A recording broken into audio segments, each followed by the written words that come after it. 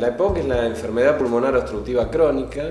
es una enfermedad que se caracteriza por una obstrucción de la vía aérea, no totalmente reversible, con broncodilatadores y generalmente progresiva,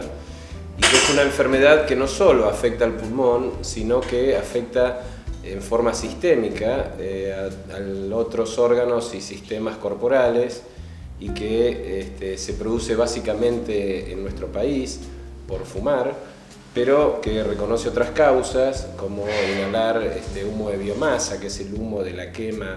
de estiércol o de madera para calefaccionarse en lugares cerrados, también este, algunas actividades laborales, especialmente las relacionadas con hidrocarburos que pueden generar el POC, pero en nuestro país les diría que casi el 90% del causal de esta enfermedad es a causa del tabaco. Es una enfermedad que eh, tiene un diagnóstico funcional, como les comenté recientemente, es una enfermedad que tiene una obstrucción respiratoria. Así que en todo paciente que esté expuesto a humo de tabaco, eh, se recomienda hacer un estudio muy sencillo, se llama espirometría,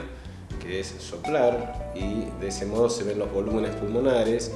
y de acuerdo a la fuerza con la que salgan los volúmenes pulmonares en relación al volumen total que se obtiene, se ve si hay algún grado de obstrucción, ya que cuanto más obstrucción tiene, si bien muchas veces se puede lograr un volumen adecuado, se va logrando en una unidad de tiempo menor y por lo tanto esa relación del tiempo y el volumen total es lo que marca que haya obstrucción de la vía aérea.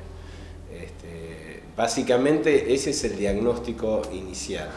Y una vez diagnosticado este, esta patología funcionalmente, hay otros elementos diagnósticos para ver si va acompañado o no de este, diferentes comorbilidades y también la afectación que tiene en ese paciente. Hay distintos grados de afectación de POC que tiene relación con el grado de obstrucción más la repercusión que tiene sobre los pacientes, ya sea en síntomas y hay repercusiones en otros estamentos como radiológicos, en laboratorio, en imágenes y asociados a la vez con otras patologías. La recomendación sería que todo paciente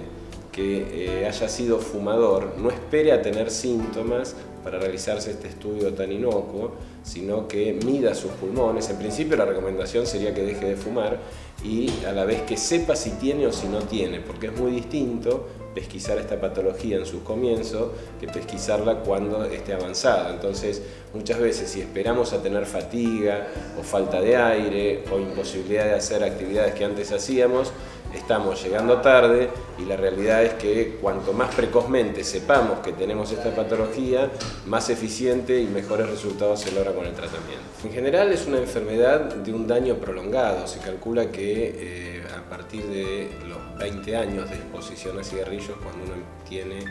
este, o desarrolla esta enfermedad. Nuestra idea del tratamiento no es revertirla funcionalmente, sino mejoría de calidad de vida, mejoría de exacerbaciones, mejoría de la posibilidad de que aparezcan fenómenos asociados y básicamente eh, el tratamiento está eh, relacionado a lograr estos objetivos. Y hay tratamientos con fármacos que eh, logran muchos de estos objetivos, tratamiento con deshabituación tabáquica, tratamiento con rehabilitación, es un tratamiento que es casi tan importante como el tratamiento farmacológico,